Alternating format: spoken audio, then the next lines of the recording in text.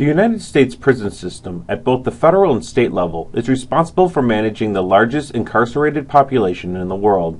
In particular, as of April 2012, the current population of inmates being held at over 200 federal prisons and overseen by the Bureau of Prisons is approximately 177,170 people. This totals 81.4% of all inmates across the United States when also considering privately managed facilities and community correction management offices. Amongst the states that house federal facilities, California and Texas hold the majority of inmates within their walls. As prisons continue to push critical mass, decision makers can deploy an analytical platform that enables real time tracking of inmates, empowers managers to store and access diverse sets of information, and provide guards with the ability to proactively monitor inmates' profiles and understand their capabilities. For example, at Mendota Prison, a new guard is assigned to Cell Block A. Using the tools at his disposal, the guard is able to procure information on his new inmate population. He quickly learns there are 50 inmates assigned to this block of the 200 total inmates throughout the prison. He can use reference material to brief his supervisors and colleagues on each inmate's reasons for conviction, criminal history, custody level, and network capabilities. As part of his threat assessment, the guard discovers an interesting fact that one fifth of the inmates on his block are members of the Nuestra Familia. To get a better understanding of the gang's demographic, the guard can view each member's personal file. Starting with Bernard Phillips, the guard is able to see basic properties on his file as well as attached media, such as tattoos. Looking at his related entities, the guard sees that Bernard Phillips' organizational leader is Lloyd Crawford. Lloyd Crawford also resides on Cell Block A. As the guard probes into the file of Crawford, he finds a strange anomaly.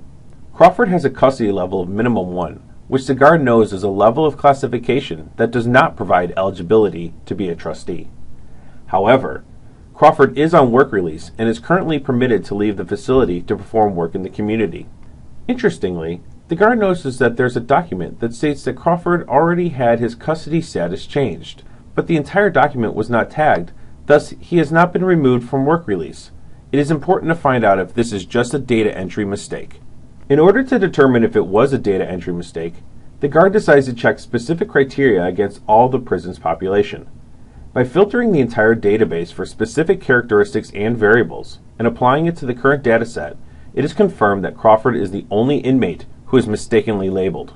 The situation is more than just plausible, but indicative of how decision makers can manage large sets of data across the federal prison management system.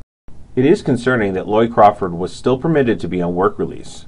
Analyzing how this mistake can lead to insights in larger investigations, we begin by learning that he worked at Ace Cabinets, which is the same small business that another inmate, Clayton Lamb, has worked at for a period of time.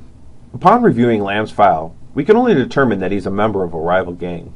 Viewing the other employees at Ace Cabinets to maintain situational awareness, it is possible that Amy Wright and Mary Adams have visited the prison and are affiliated with Lamb and potentially Crawford to some degree. Interestingly, both Adams and Wright visited Lamb and Clinton Morano at Mendota Prison on several different occasions. Wright also met with inmate Ted Norman. Investigating this current situation further, the guard discovers a report associated with Morano and Norman. On November 20th, 2011, guards conducted a shakedown of cell block B and busted Morano for possessing a weapon discovered in a cell.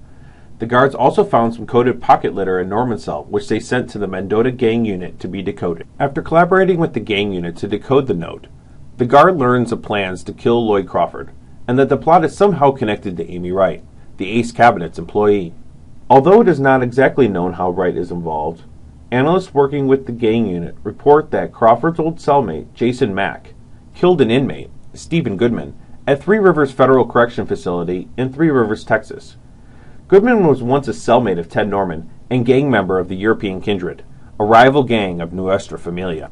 It is worth noting that while this presentation demonstrates the power of detailed analysis with limited open source data, an investigation with the full data set possessed by the Bureau of Prisons and other private stakeholders could yield countless opportunities to enhance effectiveness in the decision making process, streamline inefficiencies, and identify weak links. In other words, help program managers build a more efficient program across the enterprise in real time while providing a safer environment throughout the prison system.